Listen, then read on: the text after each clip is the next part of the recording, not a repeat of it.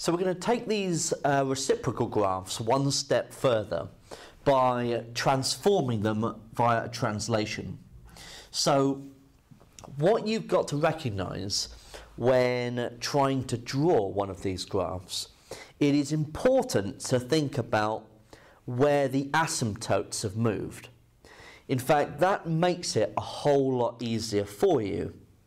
So if the graph has been moved up uh, 10, so you've added 10 to the right hand side, okay, to the y values, then what's going to happen is that if you had an asymptote at the x-axis, then it too will move up 10 units. So if we can go about drawing the asymptotes first, then we can draw our graph around it. So for number one, we've got y equals 2 over x plus 3. Now we know what y equals 2 over x looks like. So we're going to be adding 3, so we're going to be moving the graph up. So first of all, think about what y equals 2 over x would look like. y equals 2 over x has a horizontal asymptote at the x-axis and it has a vertical asymptote at the y-axis. Now if you move the whole graph three units up, the asymptote of the y-axis will just move with it, okay, and that won't really change. The one at the x-axis, however, will move up three units as well. So if we put in a dotted line to represent that asymptote, okay, then we know that the curve will look something like this and it will be approaching y equals 3 and approaching the y-axis. And down here, it must approach the y-axis, but also approach the y equals 3 from that direction. So at some point, the curve must cross the x-axis. Now we could determine that point by putting y is equal to 0. So we could say, well, 0 equals 2 over x plus 3. Subtract the 3 from both sides. Multiply up. Then divide both sides by the minus 3. So this point must be minus 2 thirds. And that is what y equals 2 over x plus 3 must look like. Okay, so that's the first one.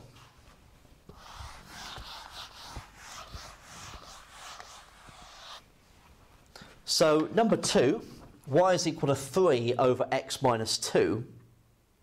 Now, we know what 3 over x looks like.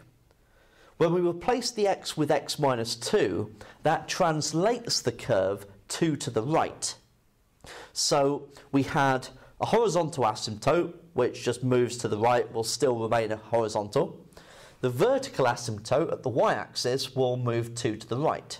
Okay, so we need to draw that one in. So the one at the y-axis will move 2 to the right. And that's x equals 2.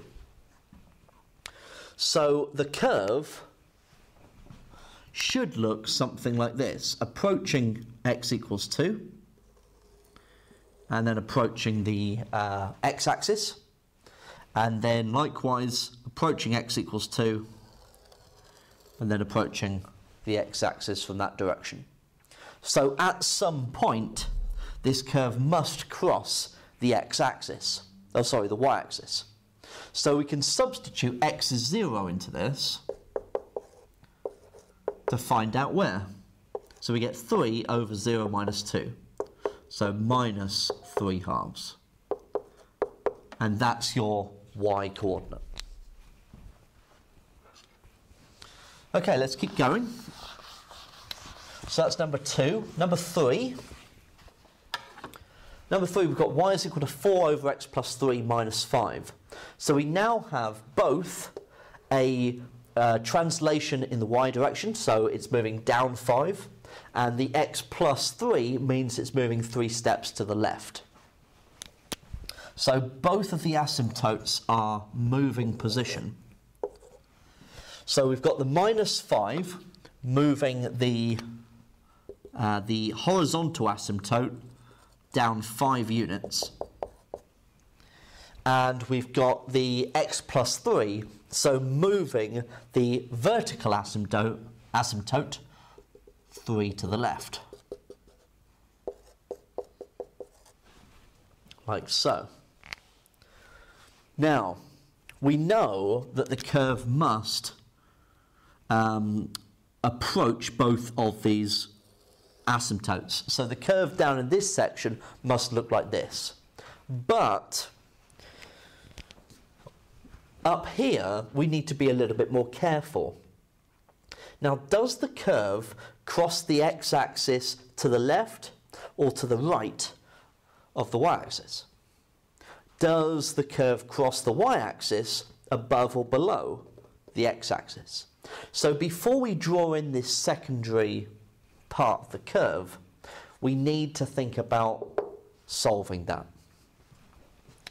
So when y is 0, this will tell us where it's crossing the x-axis.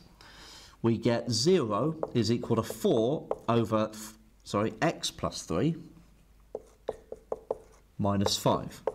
So add the 5 to both sides multiply up, divide both sides by, well, what would be easiest here? Let's multiply out the bracket. 5x plus 15 equals 4.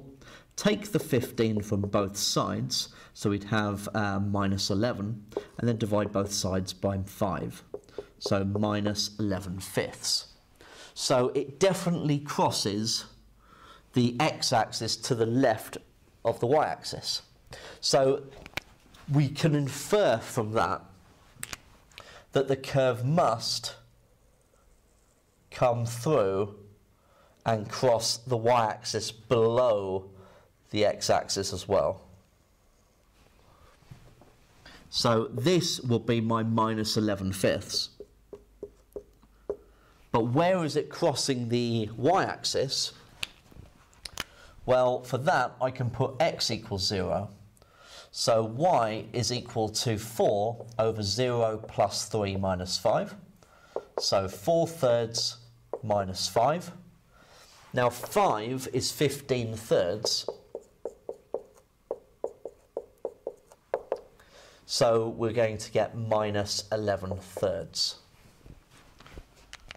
So it crosses the x-axis at minus 11 fifths and crosses the y-axis at minus 11 thirds. Okay, and that's what uh, number three must look like.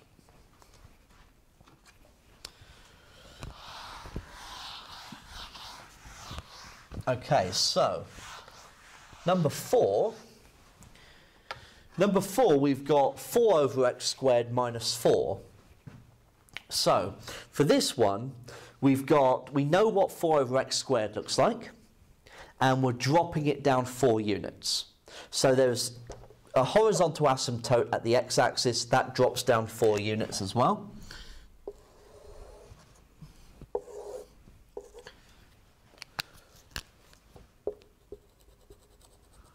So there's y is equal to minus 4. The asymptote at the y-axis maintains where it is. So the curve must do something like that. Okay, so looks like it's going into my arrow there. Something like that.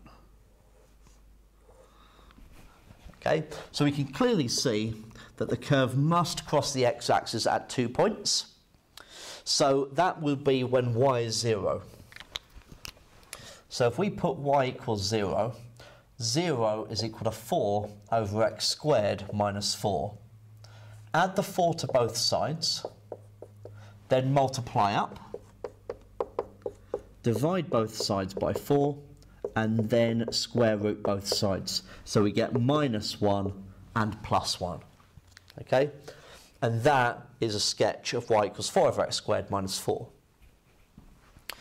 So finally, we've got number 5. Now, number 5 is y is equal to 6 minus 2 over x minus 3 squared. Looks a lot more complicated, this one. But it's a few things we've got to consider. Now, first of all, if I just cover up that 6 and I cover up the minus 3, if we just had minus 2 over x squared, we know what that looks like. That translates the curve 3 to the right. That translates the curve 6 up, because it's positive 6. So,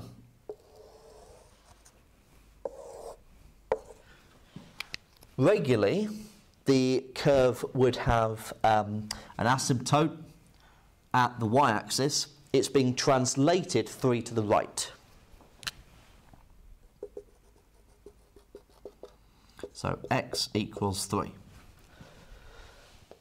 We ordinarily have an asymptote at the x-axis, but it's being translated up 6.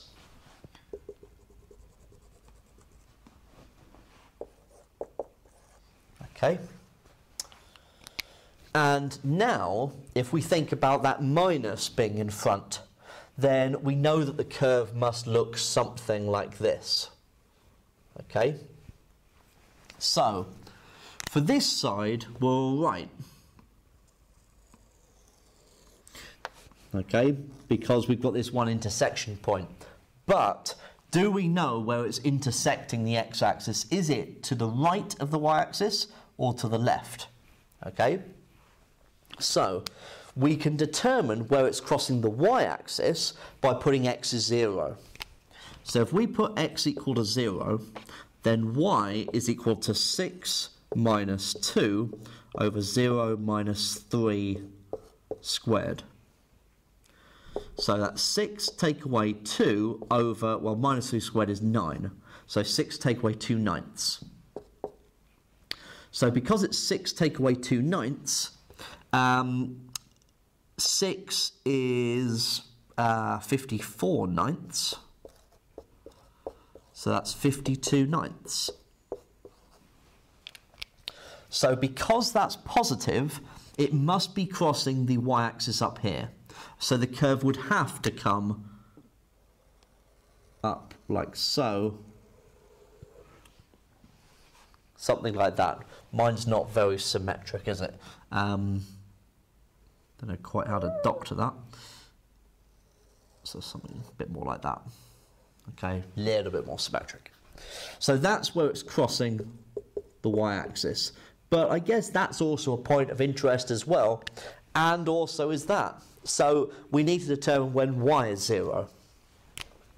So if we put y as 0, we're going to get 0 equals 6 minus 2 over x minus 3 squared. So if we add the 2 over x minus 3 squared to both sides, we can multiply up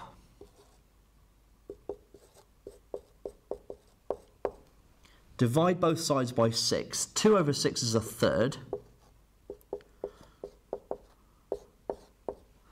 Then you can square root both sides, so plus or minus the square root of a third is x minus 3. And then add 3 to both sides.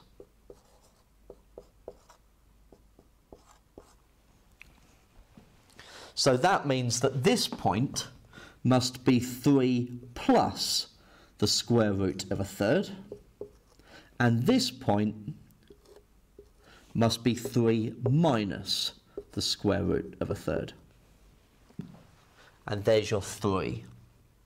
Okay, so it should be the same amount either side because it has this line of symmetry at x equals 3.